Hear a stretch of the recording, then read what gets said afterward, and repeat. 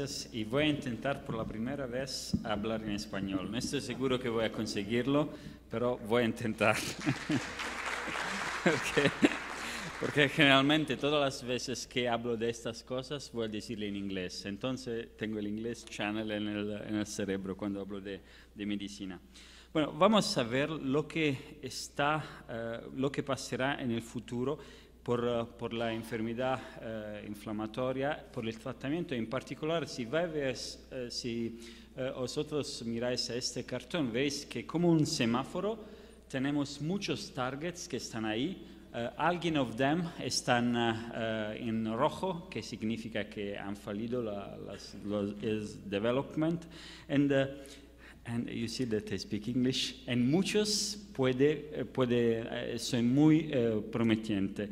Pero el, si vamos a ver lo que ha pasado del um, dos 2014-2017, eh, lo que se puede ver es que tenemos muchísimas eh, medicinas que están en buen desarrollo y que son muy prometientes. Y estos son muchos de los datos que voy a, a mostrar en, en, unas diapositivas con diferentes mecanismos de acción.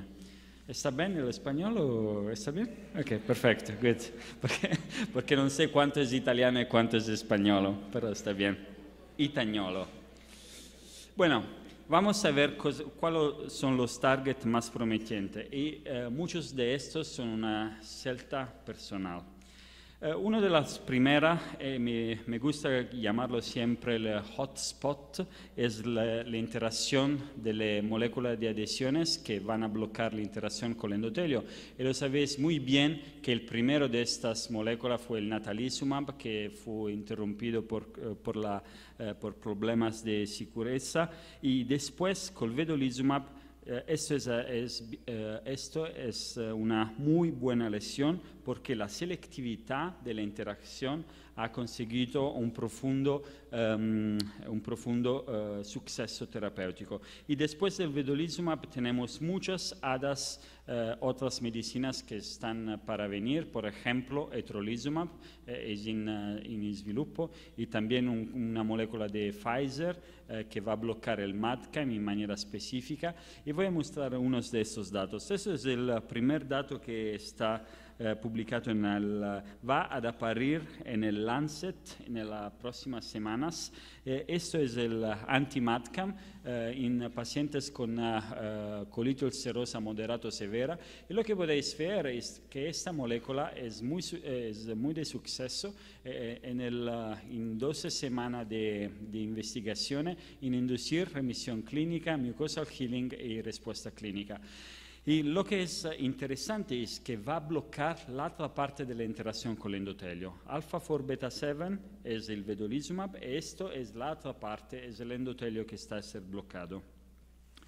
También tenemos el etrolizumab, en este caso la interacción, el bloque específico por la integrina beta 7. Esto es el primer eh, manuscrito que eh, ha, aparecido en el Lancet en el uh, 2014.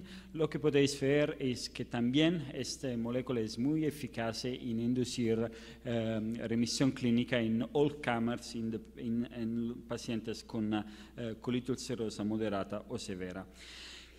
Now, Vamos a, eh, a, a, pensar diferentemente el bloque del, de la interacción de los leucocitas con el endotelio. Hasta ahora, vedolizumab, antimadcam, etrolizumab van a bloquear el ingreso de las células, de los uh, white cells, de las células blancas, de la sangre al intestino. El bloque de la interacción está siempre ahí, pero tenemos, sabéis que las células van continuamente un circuito y van a salir, van a salir con los vasos linfáticos y después de aquí tienen que ir de los linfonodos. E esta circulación continua puede ser bloqueada en otro sitio que es los linfonodos. Hay moléculas que ya están aprobadas en otras indicaciones inflamatorias, como por ejemplo en la uh, esclerosis múltiple. Estos se llaman inhibidores de la molécula S1P. Eh, no sé el nombre comercial en, in, uh, is fingo, uh, fingolimod in, in, in US. But Uh, lo que pasa es que prácticamente si este es un linfonodo, eh, le- la T-cell, la célula T, tiene que salir del linfonodo eh, a través de la célula linfática y para hacer este proceso necesitan de un gradiente de esta molécula que se llama S1P. Y si se va a bloquear esta molécula con uh, unas, eh, em, unas etrasimod o rozanimos que son inhibidores específicos de S1P, lo que pasa es que la célula T remane entrapolada en el linfonodo y no puede egresar. Eso es lo que pasa. Esto es un nuevo mecanismo terapéutico. Esto es muy eficaz porque si vais a ver, este es un uh, papel que ha aparecido en el New England en uh, 2016. Esta molécula es selectiva por el intestino y es muy buena en inducir, at, uh, after ocho semanas, uh, remisión clínica, respuesta clínica y, mu- y mucosal healing. Y también eh, tenemos los datos a twen- um, 24 semanas que también este efecto es mantenido. Entonces esto es muy prometente y ahora uh, phase 3 uh, programs uh, are ongoing. Vamos a ver eh, anticytokines. Eh, eh, esto es claramente eh, lo que estamos acostumbrados porque de la anti-TNF, pero tenemos nu- nuevas moléculas y estos son los inhibidores de la interleuquina 12 y 23. Esto ocurre con ustekinumab eh, porque sabéis que eh, las dos citoquinas tienen una, una porción que está compartida que se llama P40. El ustekinumab va a bloquear eh, las dos citoquinas al mismo tiempo, que es distinto eh, de eh, other, de otras moléculas que van a bloquear específicamente la porción que se llama P19, que es específica de la interleuquina 23. Como sabéis, eh, estos son los datos que han aparecido hace tres semanas en el eh, New England o hace un mes, eh, donde está demostrado que ustekinumab es muy eficaz en pacientes con enfermedad de Crohn después de seis semanas en eh, inducir respuesta clínica, remisión clínica. Eso lo veis. no, eh, los pacientes son eh, refractarios al, al TNF o son naive al TNF. Ustekinumab va a funcionar perfectamente igual, eh, no solamente por la inducción, pero también por el mantenimiento de la remisión clínica después de 44 semanas. Entonces, eso es el motivo por qué ustekinumab ha estado aprobado eh, en Europa y en, en América. Eh, como he dicho, eh, ustekinumab va a bloquear dos citoquinas al mismo tiempo. Aquí tenemos el bloque específico de la interleuquina 23. Esto es también un anticuerpo monoclonal que va a bloquear eh, la P19 porción.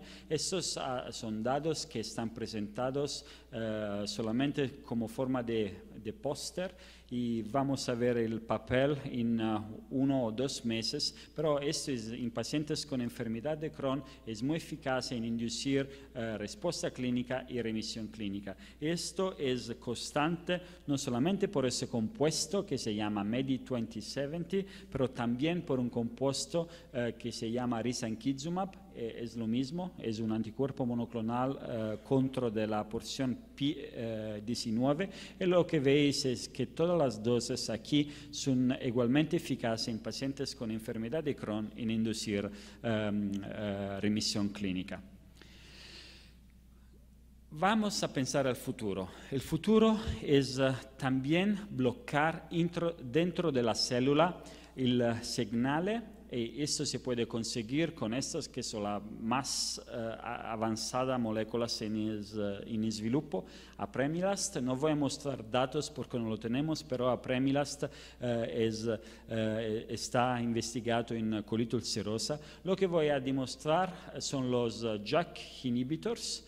Uh, tofacitinib and uh, uh, ifilgotinib e l'antismat7. Uh, JAK inhibitor uh, es muy interesante que muchas citoquinas uh, necesitan JAK in order to, to, por la transmisión del segnal. Y tofacitinib con una molécula es en grado de bloquear contemporáneamente um, uh, uh, muchas citoquinas inflamatorias, como es en este cartón. E esta es una molécula que ya está probada en la reumatoide arthritis y también en colitis ulcerosa es muy eficaz. Estos son los datos de inducción eh, y también en los mantenimiento es, es muy eficaz. Esta es una molécula que vamos a ver por la colitis ulcerosa, por supuesto. Y, como podéis ver, eh, también el mucosal healing eh, ocurre después de ocho semanas, es, es uh, en paragón del placebo, y no, no, solamente eh, tofacitinib, pero también filgotinib, que es una molécula selectiva para la inhibición de JAK1. En este caso es, eh, está demostrado de ser eficaz en pacientes con enfermedad de Crohn en inducir remisión clínica y respuesta. Como podéis ver, esto es muy rápido después de 10 semanas de tratamiento. También esto es en, en uh, sviluppo y ahora la, fase 3 eh, está rolando pacientes. E esta es la pipeline de los JAK, muy, muy numerosa. Vamos a, el futuro vamos a ver muchísimo JAK por nuestros pacientes.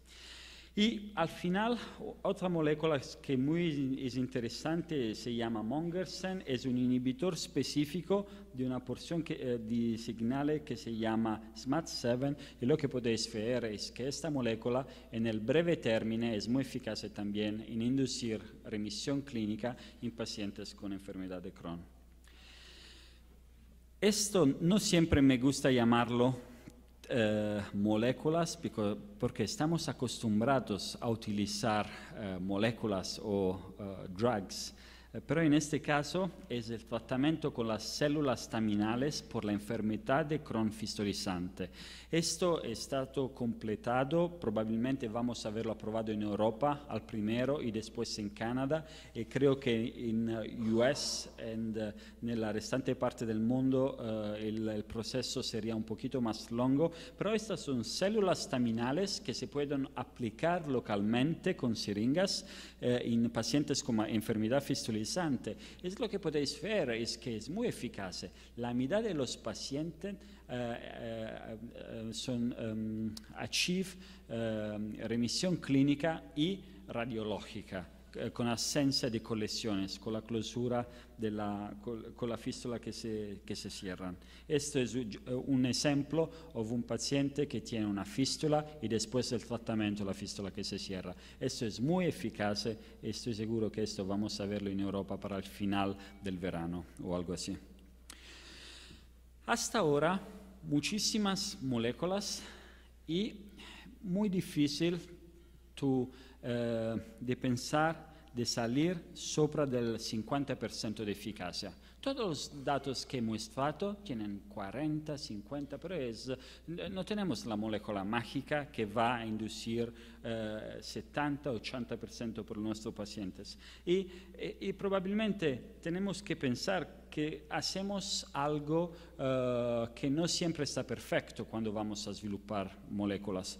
Y una de estas cosas es que y, um, uh, even though uh, the, the molecules the molecules are so many in Crohn's and UC, nel, uh, in 2017, I need to speak English here, I'm very sorry, this is too difficult for me. Voy a intentar otra vez, pero si no va a salir, this is demasiado difícil. I'm going to try Sí. it again, but if it En el uh, uh, 2017 tenemos que cambiar el modo de ver In cómo 2017, damos we have to change our pacientes. Lo que hacemos hoy es, de- eh, es que damos una compresa, una siringa, lo que es un anticuerpo monoclonal, y eh, lo damos a todos, no pensando que cada paciente está distinto. Pero probabilmente en el futuro la medicina personalizada va a, a diventar más una realidad. También en la enfermedad inflamatoria, como está ocurriendo per el cancro. Esto lo sabéis muy bien, por el cancro la medicina personalizada es, es una realidad porque cada paciente tiene un mecanismo de acción diferente o una biología de malattia que es distinta y necesita específicas moléculas de bloco por aquella enfermedad. Bueno, lo sabemos muy bien porque eh, cuando, eh, eh, cua- cuando vemos pacientes enfrente de nosotros, esto es muy claro, están tan distintos eh, entre ellos que eh, la pregunta es cosa podemos, hacer para, eh, para eh, una más eficientemente moléculas por la enfermedad inflamatoria. La primera cosa es que probablemente sabemos que no todos los pacientes tienen lo mismo pathway de malattia, de enfermedad. Esto es muy claro, es muy claro en práctica clínica. En cada oficio, en cada hospital, cuando vemos nuestros pacientes, no sabemos porque alguien tiene una stenosis, alguien tiene una fístula, alguien tiene un- una manifestación extraintestinal. Entonces, probablemente la biología de, enfermedad es distinta eh, cada uno, pero creo que hoy en 2007, nel 2017 estamos un poquito ignorantes, porque ahora tenemos solo dos nombres, dos etiquetas, ulcerative colitis y la enfermedad de Crohn, pero el problema es que los pacientes pueden ser clasificados eh, en relación a la biología que, eh, que tiene activa la, la enfermedad y del mecanismo de, de enfermedad que probablemente en el futuro va a ser la base por el nuevo tratamiento. Y también eh, otro aspecto fundamental es entender il, il timing della in- del, del tratamiento, perché la enfermedad no es o- eh, siempre la misma. Eh, imagínate simplemente este, este cartoon. Cuando la, malat- la enfermedad se diagnosa, después damos una terapia, después otra terapia, la enfermedad no va a estar siempre la misma. El mecanismo de enfermedad va a cambiar por 30 años de enfermedad en los pacientes. Esto es claro porque cada vez que ponemos un anticuerpo, eh, si el antígeno está ahí, eh, el immune system va a, a- a encontrar el antígeno otra vez and overcome eh, el, eh, el bloco terapéutico que ha ocurrido. Eh, y por esto, por ejemplo, la solución mágica podría ser il blocco del eh, giusto mediatore eh, nel giusto momento, nel giusto paziente e con la eh, dose perfecta. Bueno, vamos a pensar cómo podemos encontrar o cómo podemos eh, hacer eh, mejor en eh, individualizar la terapia por los pacientes. Estos son los uh, ideas of, uh, of, uh, of poner todos together, uh, uh, juntos, uh, los ingredientes de enfermedad di Crohn e di colite ulcerosa. L'ambiente, eh, il geni, eh, il sistema immunitario e, la flora intestinale. Ponendolo, so- all- all- I need to speak English now, this is too difficult.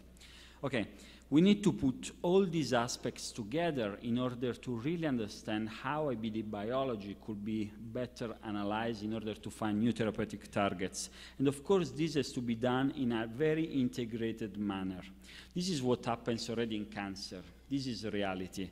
Patients get analysis of multiple levels genes, transcripts, proteins, metabolites, and the multiple interactions that this can occur. This is key in order to find new drugs.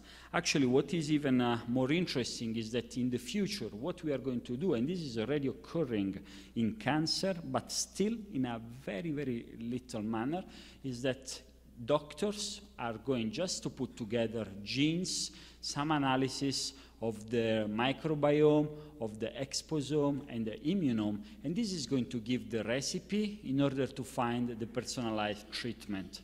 This is occurring in cancer, in IBD is not yet reality, but in 10, 15 years from now, for sure we will have this, and the doctors will become just providers. There is a big risk for our jobs, and I can tell you that there are a lot of articles talking about artificial intelligence helping us in our decision-making process. And probably one of the big risks is that, uh, I, and I don't like this, but this is going to become reality. There are a lot of articles talking about do we need doctors or algorithm?